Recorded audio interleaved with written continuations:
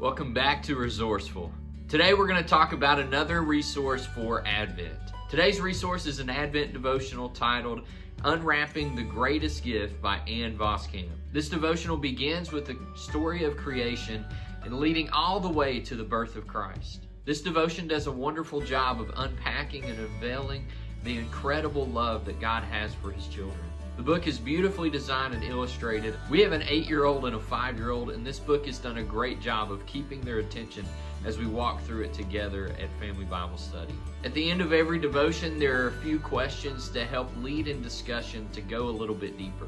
There's also a family activity that you can do together. If you don't already have an Advent family devotion that you're doing, I encourage you to check out The Greatest Gift today. I hope this resource helps to encourage and strengthen your family as you continue to grow closer to Christ. Be sure to tune in right here each Monday for more resources just like this. I'll see you next week.